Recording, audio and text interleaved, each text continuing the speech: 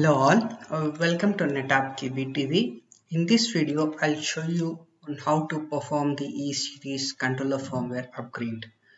If your storage array contains only one controller or do not have multipath driver installed on the host, you should stop all the I.O. activity to the storage array to prevent application errors.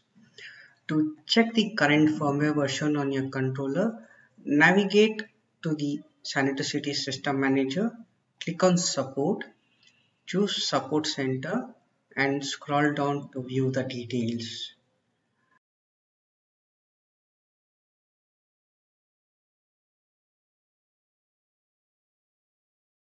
Now to perform the controller firmware upgrade, click on Support, choose Upgrade Center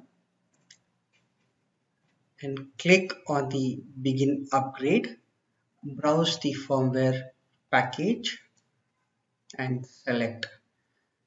Simultaneously, you should choose the NVSRAM file as well. Click the Start button and confirm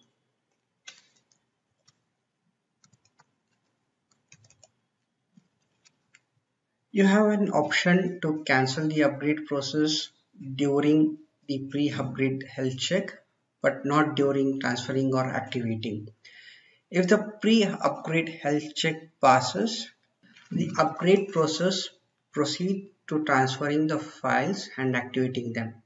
If the pre-upgrade health check fails, use a recovery guru or contact technical support to resolve the problem. The time taken for completion depends on your storage array configuration and IO load.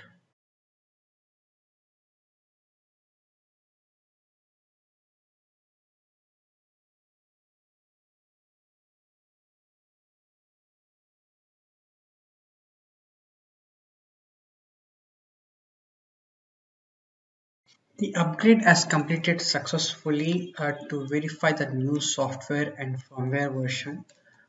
Follow these steps which was shown at the start of the video. So thank you for choosing NetApp. Have a nice day.